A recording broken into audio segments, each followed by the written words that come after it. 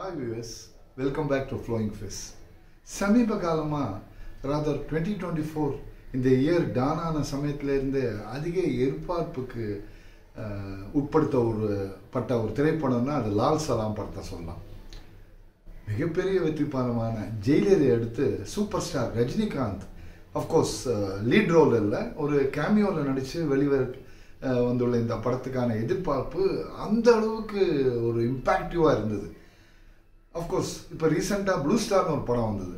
அதில் வந்து மையம் படத்தோட நாட் என்னன்னு பார்த்தோம்னா கிரிக்கெட் மேட்ச் ரெண்டு அணிகள் அவங்களுக்குள்ள போட்டி அப்புறம் எப்படி இணைந்து ரெண்டு பேரும் செயல்பட்டு வெற்றி காணுங்கிறது தான் அதோட அடிப்படை நாட்டு அதில் வந்து ஆப்வியஸ்லி அசோக் செல்வனுக்கு அதிக மைலேஜும் சாந்தனுக்கு ஓரளவுக்கு மைலேஜும் கொடுக்கப்பட்டிருந்தது. கிட்டத்தட்ட ஒரு சிமிலரான ஃபெமிலியரான ஒரு பிளாட் இதுலேயும் கிரிக்கெட் மேட்ச் ஒரு சின்ன கிராமப்புறம். அங்கே வந்து விஷ்ணு விஷால் இருக்கார் ஒரு பக்கம். இன்னொரு பக்கம் வந்து விக்ராந்த் இருக்கார். ரெண்டு பேருமே கிரிக்கெட் பிளேயர்ஸ் ரொம்ப ஒரு பேஷனேட்டாக கிரிக்கெட் விளையாடக்கூடிய ஒரு இளைஞர்கள். இவர் வந்து ஒரு இண்டோ அவர் வந்து ஒரு முஸ்லீம்.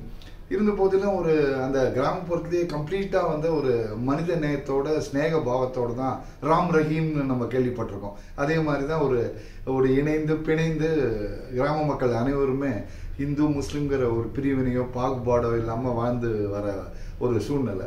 அரசியல் காரணங்கள்னால அது வந்து தகர்க்கப்பட்டு உருக்குலைக்கப்பட்டு இரு துருவங்களாக பிரிகிறாங்க. இந்த ரெண்டு பேருமே ஒரு மேட்ச் விளையாடும் போது ஒரு விபரீத நிகழ்வுகள் நிகழ்ந்து அது மூலமாக ஒரு பெரிய பிரிவினையே வருது. எப்படி அதை ஓவர் கம் பண்ணி மத நல்லிணக்கம் தான் முக்கியம் அதுதான் வந்து லைஃப்பில் பிரதானம் அப்படிங்கிற ஒரு கருத்தை வலியுறுத்தி கதையை வந்து கட்டுக்கோப்பாக கொண்டு போய் கடைசியில் வந்து சுமூகமாக ரெண்டு பேருமே இணைந்து இருகரம் கோத்து நடைபயில்றது தான் உசிதமாக இருக்குங்கிற ஒரு கருத்தை வலியுறுத்துகிற வகையில் திரைக்கதை அமைக்கப்பட்டிருக்கு. விஷ்ணு ரங்கசாமி திரைக்கதை வசனம் எழுதியிருக்காரு. ஐ மீன் பேசிக் ஸ்டோரி அவரோடது. அதே போல் இந்த ஸ்க்ரீன் பிளே மற்றும் இயக்கம் வந்து ஐஸ்வர்யா ரஜினிகாந்த். அவங்களுக்கு இது முதல் அனுபவம் இல்லை. முன்னாலேயே டேரக்டராக வந்து பரிமணிச்சிருக்காங்க இந்த படத்தில் சிறப்பாக மேலும் அவங்க வந்து தன்னோட இயக்க முத்திரைகளை பயிற்சிருக்காங்க படத்தோட லெங்த் வந்து கொஞ்சம் சில இடங்களில் நெருடு நெருடுங்கிறது மறுக்க முடியாத உண்மை.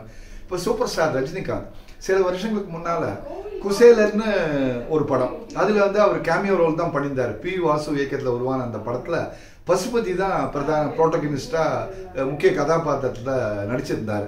இருந்தாலும் ரஜினிகாந்த் நடிச்ச அந்த கேமியோ கேரக்டருக்கு அதிக அளவுக்கு அதிகமான முக்கியத்துவம் கொடுக்கப்பட்டமையால அந்த படத்துக்கு கொஞ்சம் பாதிப்பு ஏற்பட்டதுங்கிறது மதிப்பு மறுக்க மறுக்கிறதுக்கு இல்லை. ஆனால் இந்த படத்தில் ஆரம்பத்துலேருந்தே சூப்பர் ஸ்டார் வந்து ஒரு கேமியோவில் தான் நடிச்சிருக்காரு.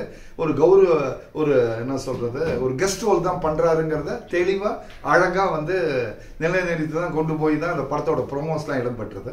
ஸோ அதுக்கு தக்க வகையில் தான் ரஜினிகாந்த் வந்து அவர் என்ட்ரி ஆகட்டும் அந்த மாஸ் என்ட்ரி அவருக்கே உரித்தான அந்த ஸ்டைல் நடக்கிற ஒரு பாவம் அந்த முகபாவனை அந்த வெட்டி திருப்புது அது மாதிரி சில அவருக்கே உள்ள சில முத்திரைகள்லாம் இந்த படத்துலேயும் அவர் பயிற்சிருக்காரு இருந்தாலும் வந்து ஒரு கிட்டத்தட்ட forty minutes of screen time சிறப்பாகவே தன்னோட ப்ரெசன்ஸை வந்து எஸ் மேட் இட் எஃபெக்டிவ்லி என்ன சொல்கிறது சிக்னிஃபிகண்ட்டான ஒரு வகையில் அதை நிரூபணம் பண்ணியிருக்காரு.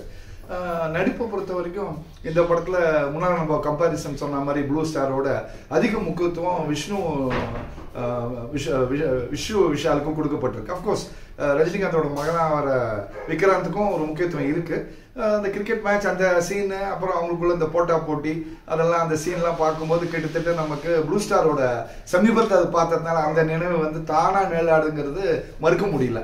ஸோ அது ஒரு ரிப்பீட் மாதிரி இருக்கு சில காட்சிகள். அண்ட் தவிரும் இந்து முஸ்லீம் ஆகிய இரு மதத்தினர் சேர்ந்தவங்களும் சேர்ந்து செயல்படணும் சேர்ந்து இயங்கணுங்கிறத வலியுறுத்தி தான் கதையை கொண்டு போயிருக்காங்க. யார் யாருக்கு அட்வைஸ் பண்ணுறதுங்கிற சில விஷயங்கள்லாம் வந்து கொஞ்சம் நெருடலாக இருந்த போதிலையும் கூட ஓவராலாக பார்க்கும்போது ஒரு ஒரு நல்ல ஒரு அப்ஜெக்டிவ் நல்ல முறையில் மத நல்லிணக்கத்தை நிலைநிறுத்தணுங்கிற ஒரு அப்ஜெக்டிவ்ல இந்த படம் செயல்பட்டு உருவாக்கப்பட்டதுனால அது கண்டிப்பாக நம்ம பாராட்டலாம். ஏஆர் ரஹ்மானோட இசையும் இந்த படத்துக்கு ஒரு ப்ளஸ் வெல் ஃப்ரெண்ட்ஸ் இதை பற்றி டிஸ்கஷன் உங்களுக்கு பிடிச்சிருந்தா லைக் பண்ணுங்கள் ஷேர் பண்ணுங்கள் சப்ஸ்கிரைப் பண்ணுங்கள் பாய்